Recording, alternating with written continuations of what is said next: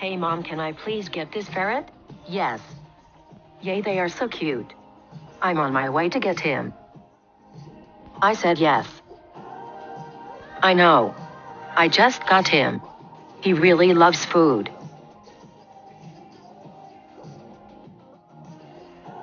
Haha. I wonder what I should name him. Bye bye. Heart, heart, heart.